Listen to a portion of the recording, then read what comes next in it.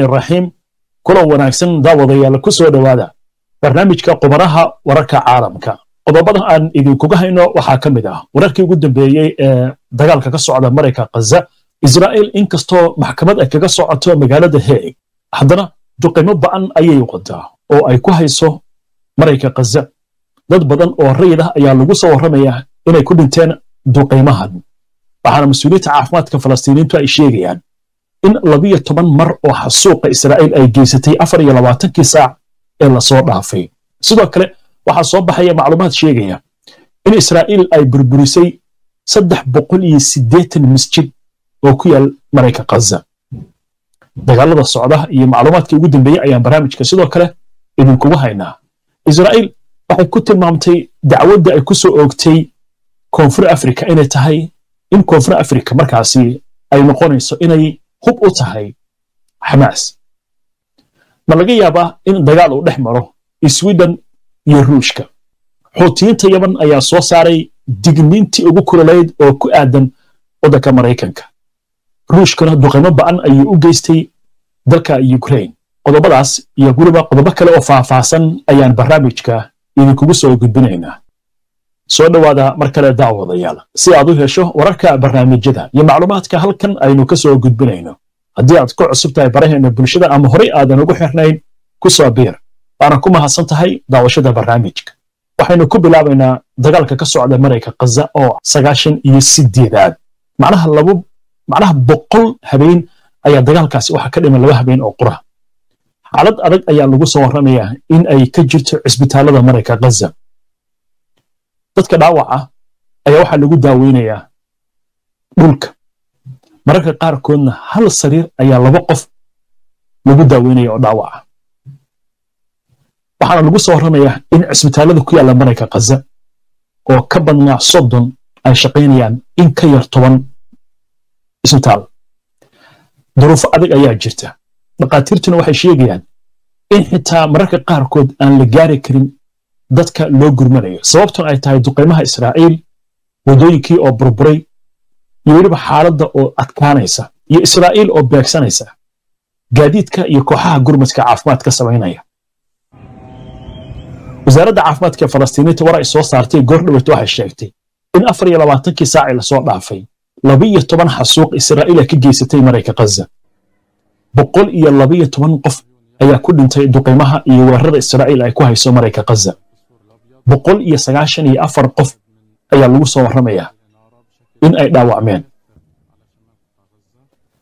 Khasaaro ba'an ayay israa'iil ka geysatay marayka khaza mas'uuliyiinta caafimaadka waxay sheegayaan in ay adkaanayso in xaaladdan ay ku shaqeeyaan cisbitaalladu waxaana jirta in dhowr cisbitaal la duqeeyey afar iyo labaatankii saacii la soo dhaafay.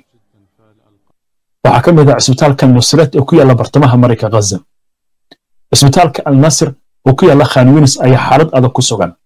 Waxaynu ognahay saacadihii la soo dhaafay in cisbitaalka shuhadada alaqsay asna ku yaalla bartamaha marayka khaza dadkii bukaanka ee xitaa la daaweynaya qaarkood iyagoo aan dhaqaaqi karin ay ku qasbanaadeen inay cararaan kadib markii israa'iil ay duqaymo u geysatay cisbitaalkaasi macluumaadka ugu dambeeya iminka waxay sheegayaan in duqaymaha ba'an ee israa'iil ay ku hayso sagaashan iyo siddeedda maalmood marayka khaza ay ku burburisay saddex boqol iyo siddeetan masjid.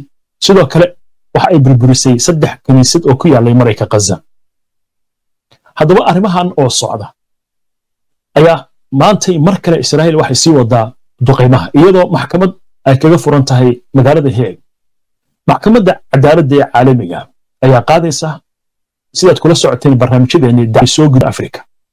La dhegeystay ka socday kufri afrika si oo israa'iil dacwad aadan xasuuq iyo gumaad iyo barakicin ay ka wado marayka khaza maalnimada berri waxaa la dhegaysan doonaa sida israa'iil ay ku andacoonayso ama waxa ay isku difaacayso. Kadibna garsoorayaasha maxkamaddaasi oo ka kooban shan iyo toban ayaa go'aan ka gaari doona. Dacwaddan koonfur afrika ay soo gudbisay.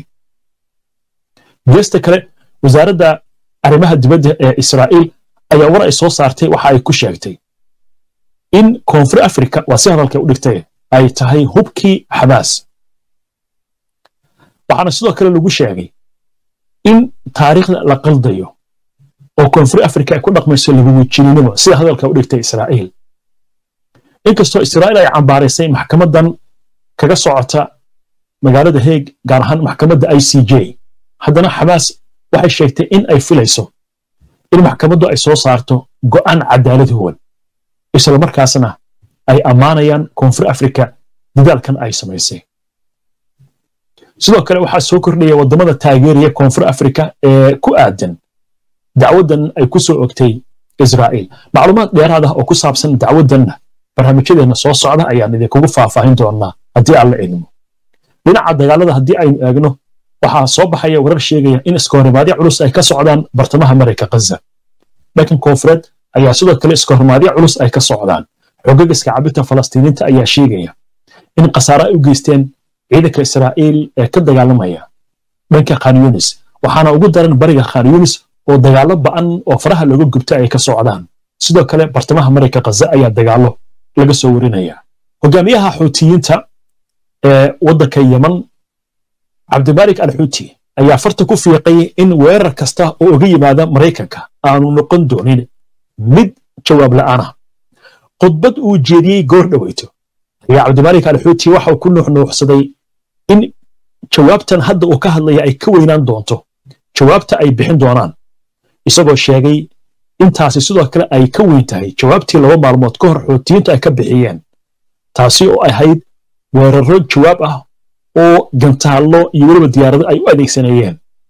Hogaamiyaha xuutiyiinta yeman ayaa waxaa intaasi ku daray in cadowga israa'iil ay ku adkaysanayaan dembiyada go'doominta iyo dhibaatooyinka kale ay ku hayaan dadka reer falastiin.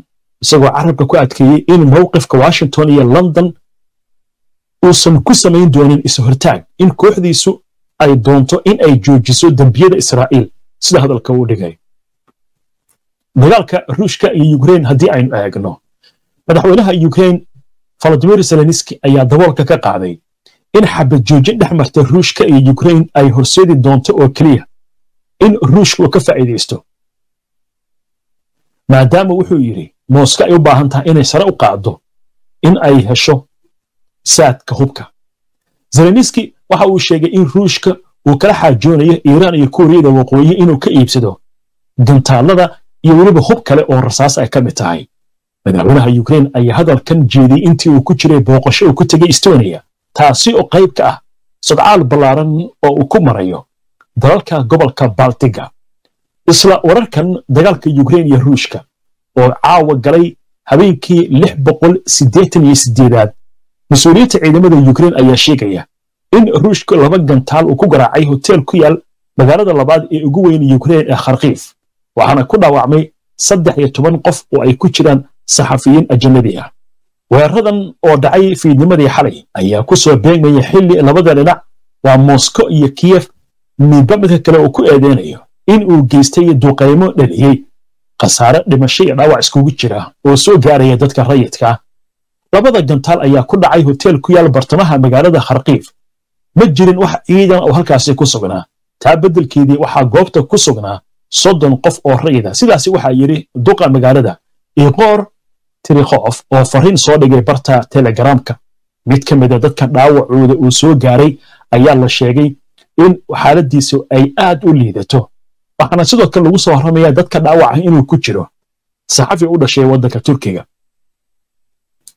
Dhanka sweden haddii aynu eegno dowladda waddanka sweden ayaa dignin ku siisay muwaadiniinta waddankaasi in ay ku dhiiradaan iskuna diyaariyaan iskuna diyaariyaan dagaal maadaama laga yaabo in dhowaan ay ku biiraan nato.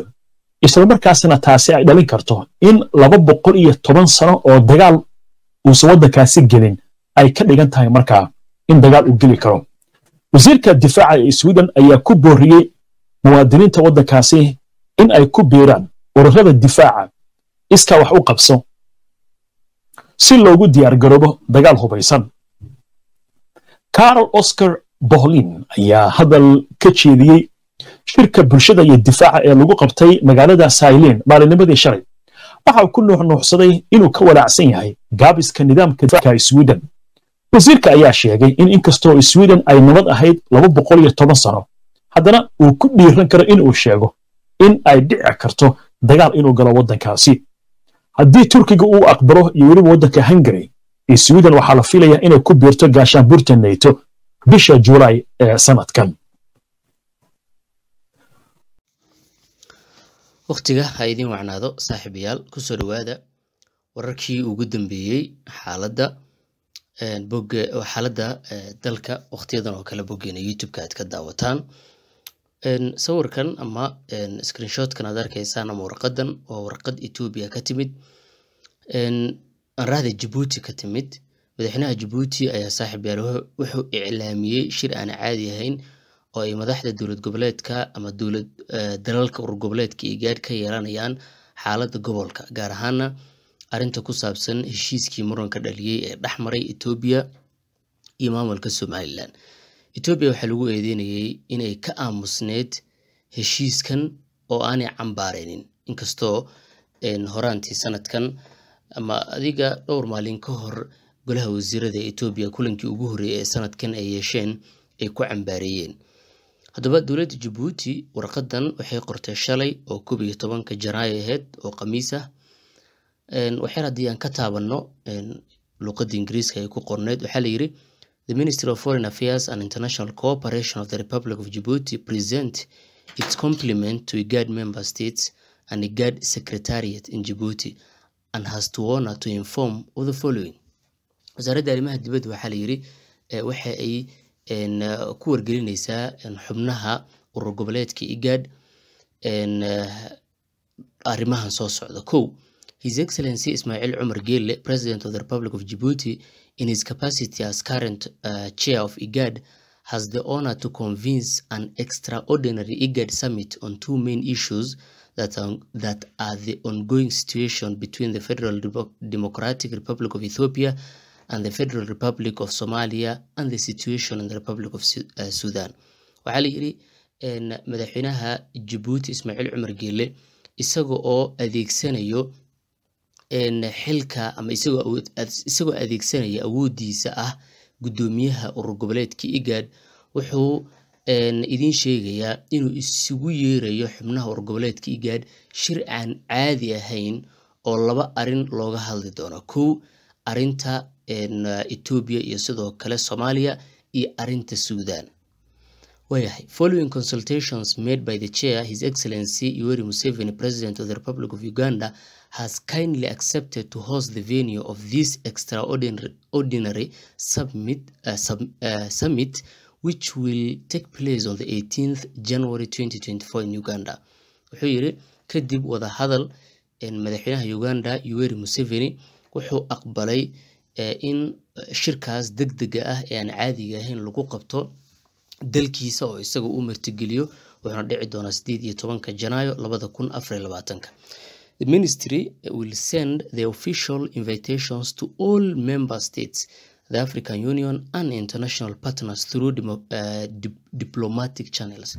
Wasaaradda arrimaha dibadda ee dowladda jabuuti waxa ay warqad invitation ah ama casuumaad ah ay u diri doontaa dhammaan xubnaha urur goboleedka igad iyo sidoo kale midooda afrika iyada oo loo marayo dariiqooyinka diblomaasiyadeed. Inta kale wax iska caadi ah the ministry kindly request from the igad secretariat in djibouti to make necessary consultations with member states for the, for the attendance at this proposed date and venue and uh, take all uh, appropriate actions to organize this summit with uganda relevant authorities. Micnaha waxay ugu yani fariinta waxaa loo diraya jabuuti oo ah in laga shaqeeyo sidii dhammaan madaxda ka qeybgelayso loogu diri lahaa muxuu ahaye fariimaha si loo hubiyo in madaxda kale iyaguna ay ka soo qeybgeli karaan sideed iyo tobanka janaayo maadaama madaxweyne kasta shedulkiisa uu aada u adag yahay warqadan ayaa saaxiib yaal ka soo baxday jabuuti inkasta oo la eedeeyey ismaaciil cumar geelle oo lagu eedeeyey in uu noqday mid ka mida madaxdii ugu dambeysay oo ka hadlay arrintan meeshii uu noqon lahaa madaxdii ugu horreysay. Waxa weeye haddana arrintan ayuu soo jeediyey in kulankaas igaad looga hadlo xaaladda suudan iyo in sidoo kale looga hadlo xaaladda kale ee muxuu ahay etoobiya iyo soomaaliya ka dhex jirta. Waxyaabaha soo kordho kulankaas sida looga jawaabo ama looga falceliyo akhbaaraadkeena iyo wararkeena dambe aan idinkugu soo gudbin doonaa. Geesta kaletana saaxiibayaal boqortooyada sacuudi carabiya ayaa ku soo biirtay dalalka caalamka ee sida isdabajooga ah u taageerayo midnimada iyo madax banaanida dhuleed ee soomaaliya kadib xadgudubkii waalida ahaa ee isku dayda etoobiya war ay goordhow daabacday wakaalada wararka dalkaas ayaa lagu sheegay in boqortooyadu si buuxda u garab taagan tahay walaalaheeda soomaaliyeed ayna aaminsan tahay in gobonnimada iyo madax banaanida dhuleed ee soomaaliya looga dambeeyo jamhuuriyadda federaalk ee soomaaliya. Qoraalkan iyadana waad arkaysaan ee wakaalada wararka ee dalkaas sacuudiga lagu qoray. Way iska soo wixii soo kordha akhbaaraadkeena kale sidii caadiga ahaa ayaan saaxiibyaal idinkula wadaagi doonaa haddii allah awooda leh uu raalli ka noqdo. Isla warar aan sidaas uga fogeyn xaaladda biyahaas ayaan saaxiibyaal doonaya inaan idinla wadaago